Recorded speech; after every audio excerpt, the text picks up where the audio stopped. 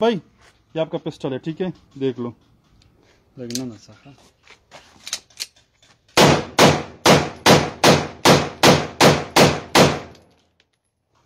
ठीक है अरसलान भाई दस फायर निकाल दिए मैंने।